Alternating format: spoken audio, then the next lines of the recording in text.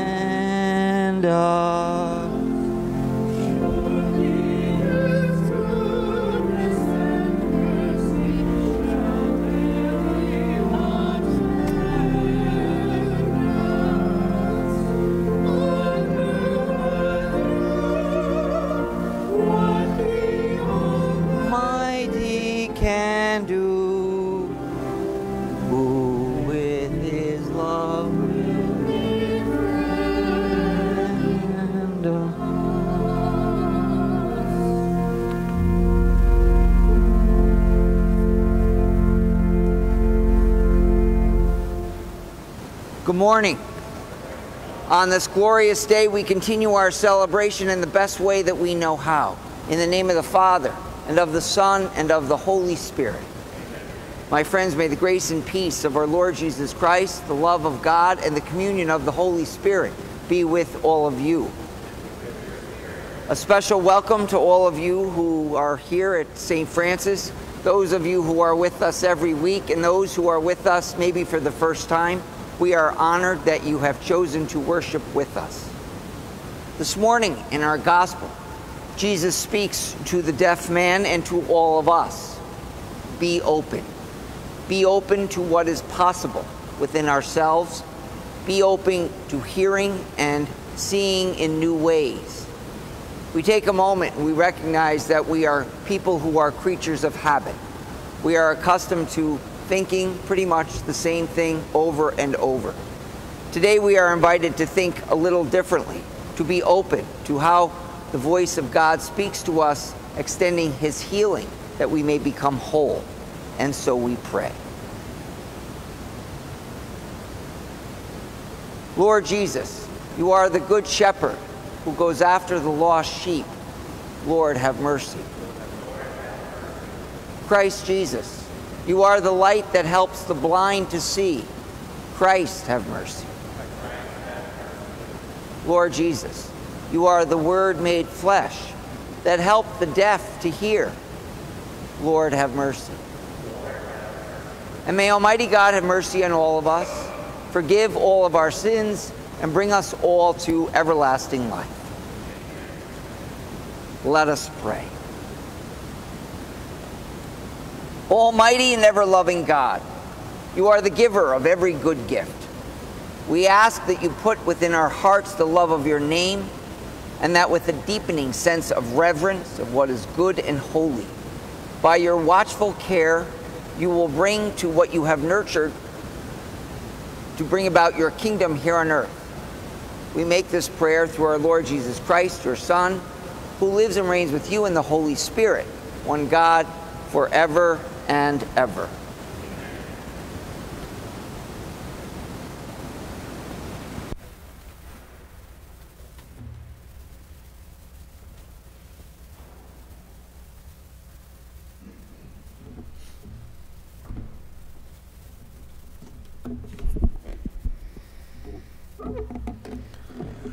A reading from the book of the prophet Isaiah. Thus says the Lord Say to those whose hearts are frightened, Be strong, fear not. Here is your God. He comes with vindication, with divine rec- recompense. He comes to save you. Then will the eyes of the blind be opened, the ears of the deaf be cleared. Then will the lame leap like a stag. Then the tongue of the mute will sing. Streams will burst forth in the desert and rivers in the steppe. The burning sands will become pools, and the thirsty ground springs of water. The word of the Lord.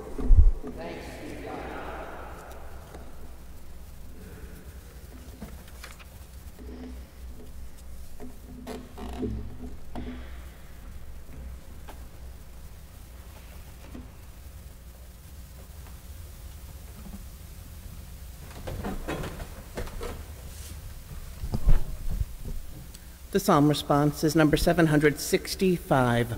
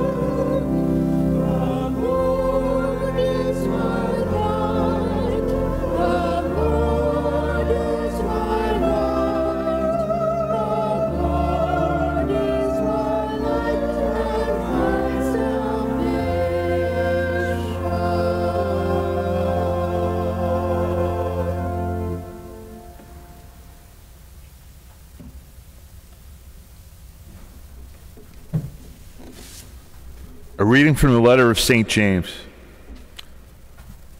My brothers and sisters, show no partiality as you adhere to the faith in our glorious Lord Jesus Christ. For if a man with gold rings and fine clothes comes into your assembly, and a poor person in shabby clothes also comes in, and you say, Pay attention to the one wearing the fine clothes, and say, Sit here, please while you say to the poor one, Stand there, or Sit at my feet. Have you not made distinctions among yourselves and become judges with evil designs? Listen, my beloved brothers and sisters. Did not God choose those who are poor in the world to be rich in faith and heirs of the kingdom that he promised to those who love him? The word of the Lord. Thank you.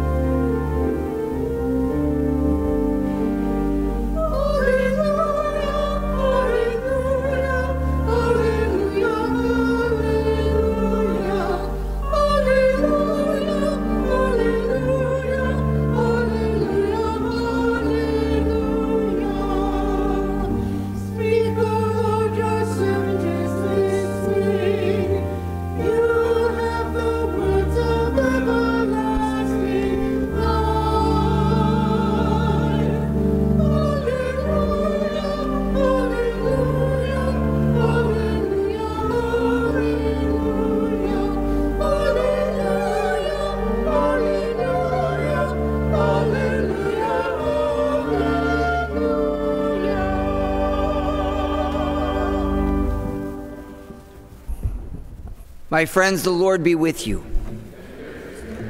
A reading from the Holy Gospel according to Mark.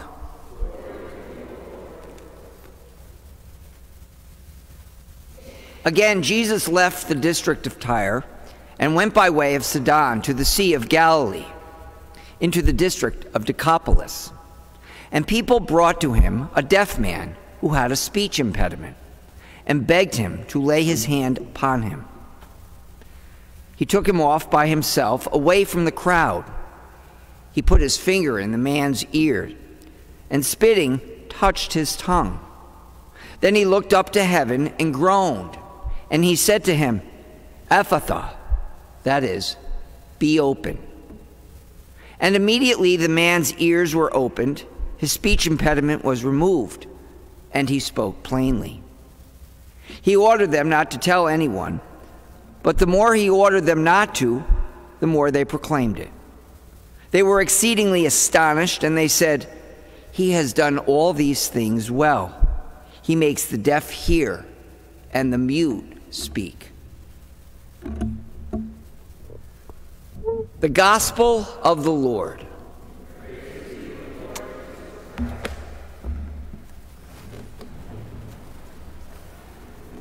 Again, a special good morning to everyone gathered here on this glorious day that looks like it's going to be quite promising and uh, something to uh, partake in. I think this is one of those Gospels that um, I had to sit with for a little while. And I say that namely because um, I am deaf in my right ear. I've had this deafness for my entire life. It's the only thing that I know. It's a nerve deafness. Sometimes people think I am ignoring them, um, but actually, my right ear has no hearing. So if you're speaking to my right ear, in some instances, I'm probably not catching everything you're saying. Other times, maybe I am ignoring you, and um, that's just my choice. But just the same, uh, as you ponder the, the wording and the description, uh, someone who is deaf, not only are they deaf, they are unable to hear the common words, the expressions, the sounds that we take for granted day in and day out. He is unable to speak or communicate in the way that is, again, something that we take for granted. And I look at that scenario and it's almost like being imprisoned. It's like being in this confining imprisonment that uh, knows no way out. How do people like that survive? How do they make it through? And of course, as you think of this particular scenario, there's countless other scenarios that are equally as, um, I think, captivating in the sense that people are limited. They have no freedom. They have no capability of moving beyond the circumstances that they are a part of. And it's not only suffocating, but it is overwhelming. And as you enter into that, you recognize the fortune that you have of being able to enter into it and then enter out.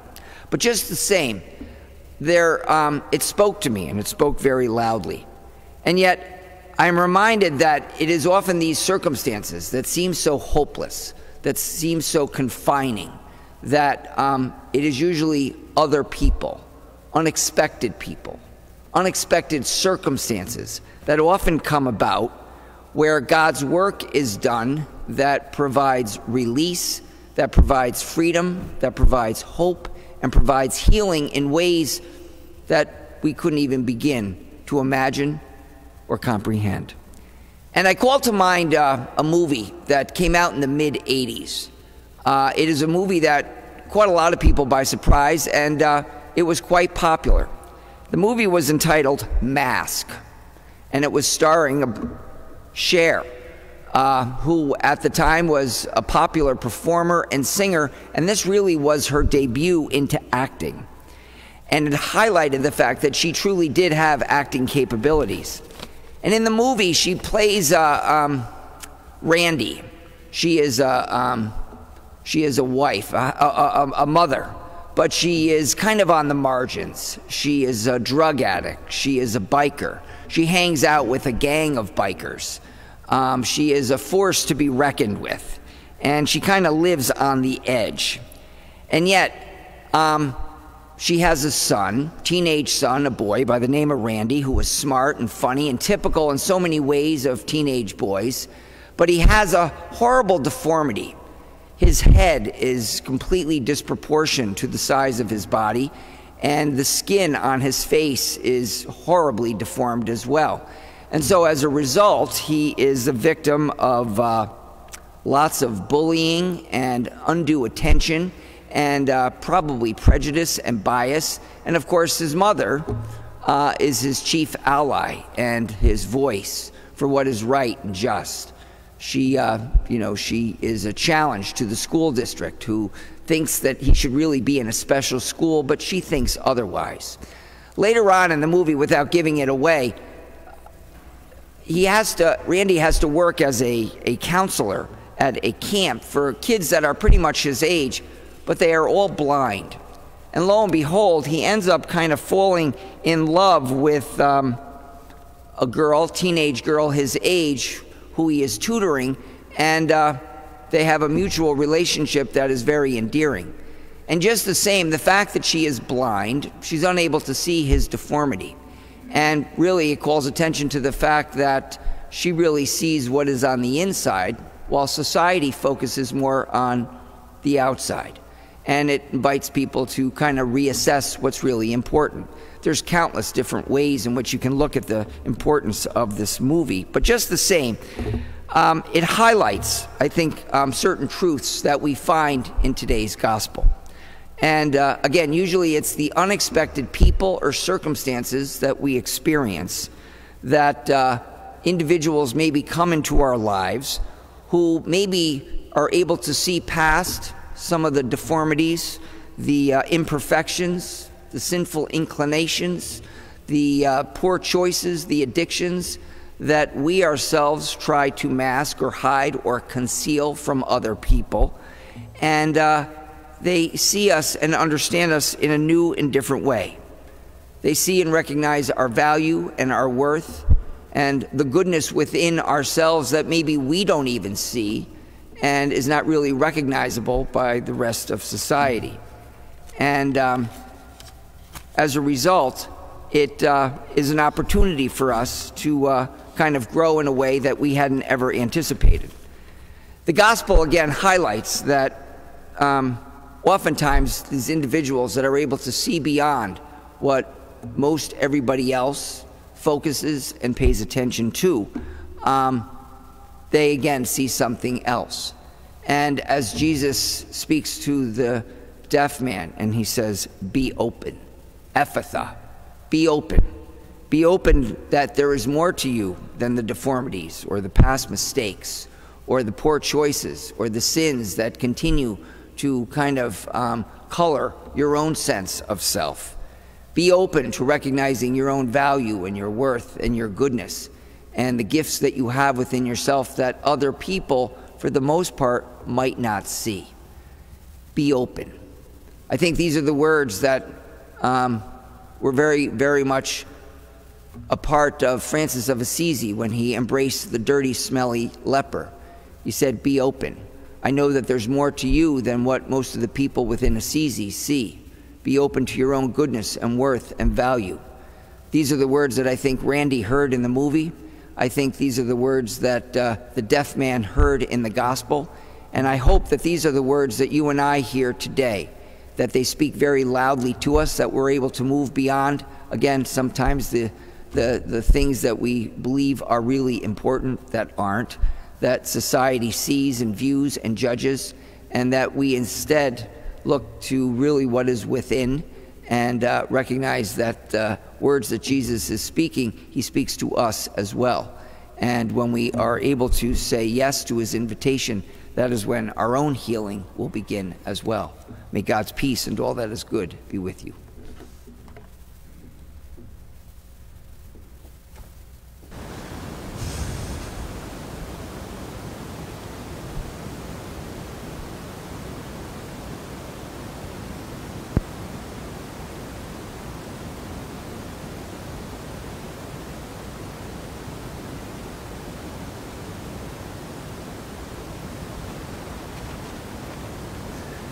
Together we stand and in one heart and one voice, we profess our creed.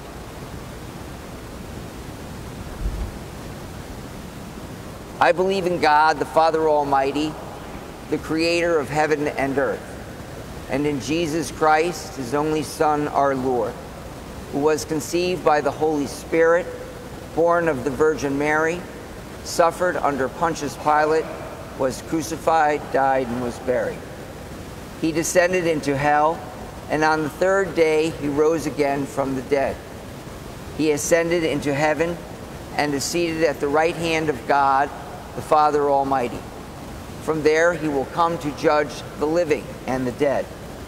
I believe in the Holy Spirit, the Holy Catholic Church, the communion of saints, the forgiveness of sins, the resurrection of the body, and life everlasting. Amen. We now bring our own prayers and our needs and our hopes before the Lord.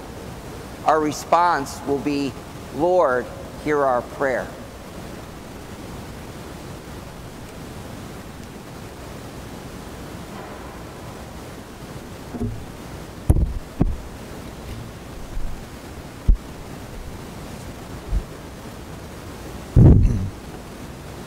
Christians to be authentic witnesses to Christ, by our openness to welcome and assist the most helpless among us, let us pray to the Lord. Lord, hear our prayer. For a change of heart within world leaders so as to stop the suffering of people in Gaza, Ukraine, Sudan, and Afghanistan, let us pray to the Lord. Lord, hear our prayer. For healing within families who continue to suffer from the wounds inflicted by the September 11th attacks, let us pray to the Lord. Lord, Hear our prayer. for victims of discrimination and prejudice to be accorded the respect and dignity that is theirs as sons and daughters of God. Let us pray to the Lord. Lord, hear our prayer. For a sensitivity within us toward people with disabilities and handicaps. Let us pray to the Lord. Lord, hear our prayer. For a fruitful year for the students and faculty of the schools of law and pharmacy, Russell Sage, and the Albany Medical College. Let us pray to the Lord. Lord, hear our prayer. For people in the medical profession whose imagination, work, and care are a continued sign of the healing power of God among us, let us pray to the Lord. Lord, hear our prayer. For faith and trust to mark the lives of those who grieve, and the eternal life be the hope of our dead in Christ, including Margaret Payne and Peter Williams. Let us pray to the Lord. Lord, Lord. hear our prayer. For the people and situations we hold deep in our hearts and bring to the holy table, let us pray to the Lord. Lord, hear our prayer. Gracious and loving God, we ask that you to continue to pour forth your Spirit upon all of us gathered here. Dispel the darkness of our hearts and of our world. Grant that we may always have a correct faith and a certain hope and a perfect charity as we seek to carry out your holy and true command. We make this prayer through Christ our Lord. As we prepare the Lord's table and ourselves to offer the sacrifice of praise and thanksgiving, let us join in singing hymn number 535, Prayer of St. Francis, number 535.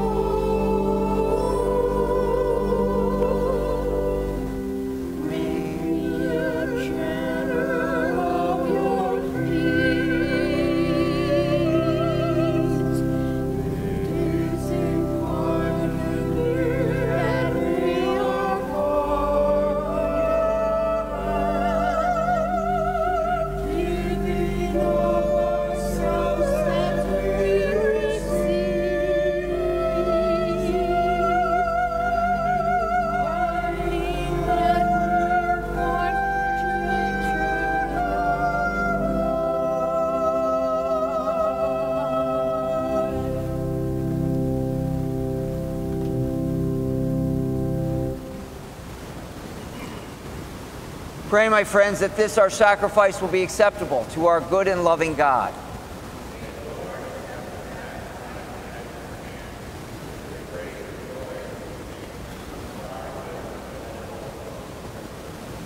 Good and gracious God, on this holy day, we ask that you accept the special gifts that we bring to your table the gifts of bread and wine and the gifts of our lives. May they always be acceptable and pleasing to you. We make this prayer through Christ our Lord. My friends, the Lord be with you. Lift up your hearts. Let us give thanks to the Lord our God. It is truly right and just that we should always give you thanks and praise, Almighty and ever loving God, for the countless ways in which you seek to reveal yourself to all the world and through your Son, our Lord Jesus Christ. For though the human race is divided by dissension and discord, we know you are continuously inviting us to change our hearts, that they may come to know healing, reconciliation. Even more, your spirit moves human hearts so that enemies begin to speak to one another. Adversaries join hands in friendship, and people seek the way of peace together. By the working of your spirit, it comes about, O Lord, when hatred is overcome by love, when revenge gives way to forgiveness, and discord is changed to mutual respect. And so, with endless thanks, we join our voices with the choirs of heaven and together without end we acclaim.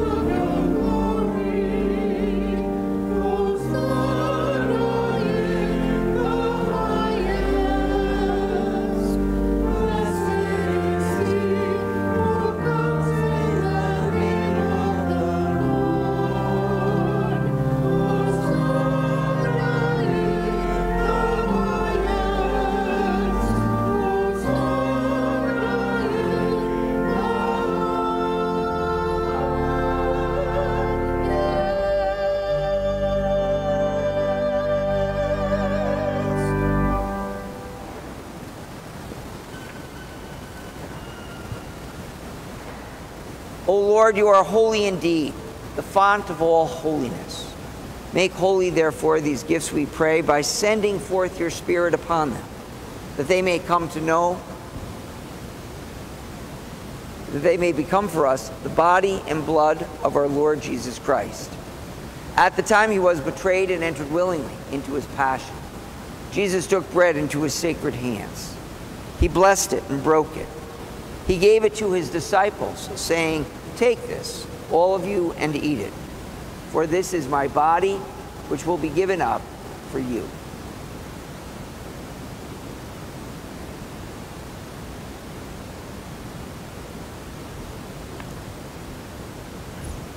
In a similar way, when the supper had ended, he took the chalice. Once more giving thanks, he gave it to his disciples, saying, Take this, all of you, and drink from it. For this is the chalice of my blood, the blood of the new and eternal covenant, be poured forth for you and for all people, so that sins may be forgiven.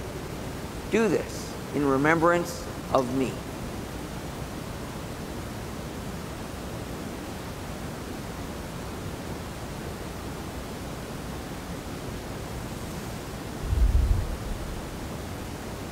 The mystery of faith.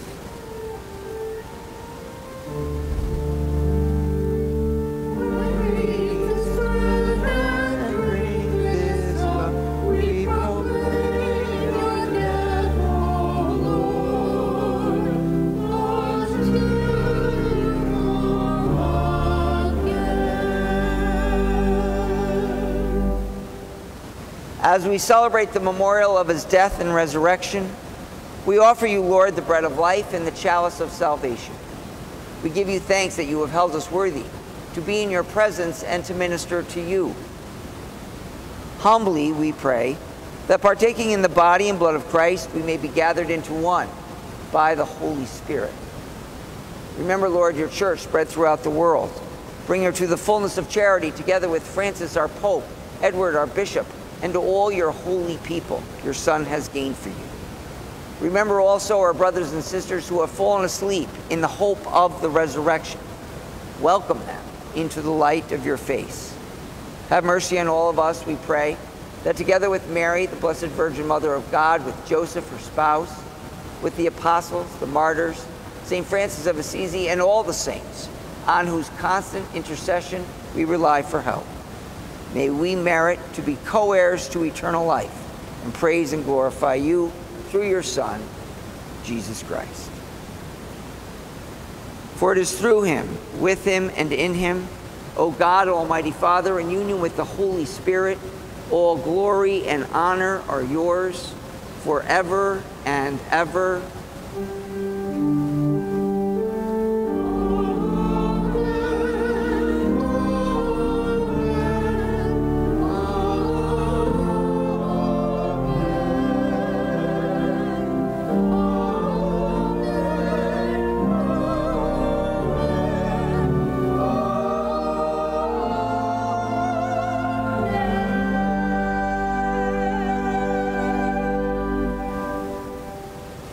Now together we stand. In one voice and one heart, we pray the prayer Jesus taught us Our Father, who art in heaven, hallowed be thy name. Thy kingdom come, thy will be done, on earth as it is in heaven.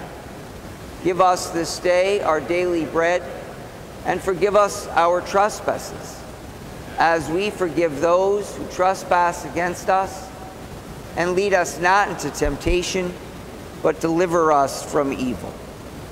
Deliver us, Lord, we pray, from every evil. Graciously grant peace in our days, that by the help of your mercy we may be free from sin, safe from all distress, as we await the blessed hope and the coming of our Savior, Jesus Christ.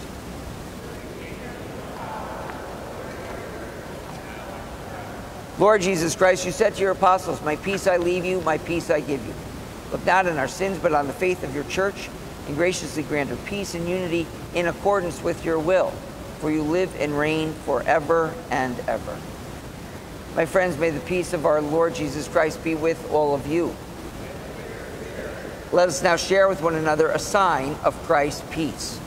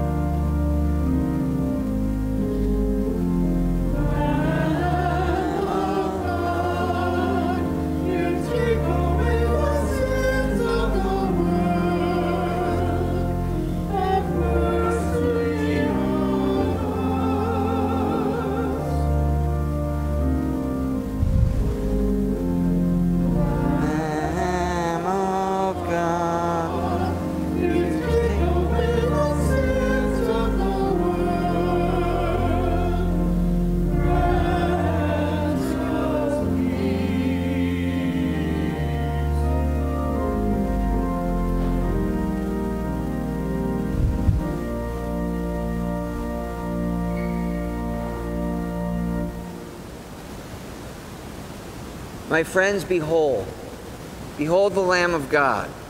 Behold the one who takes away the sins of the world. Blessed are those who are called to the supper of the Lamb.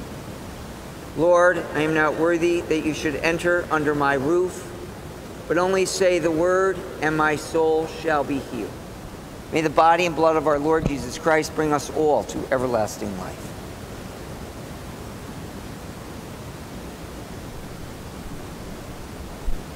Let us become one voice and body of praise, singing hymn number 796. Be with me, Lord. Number 796.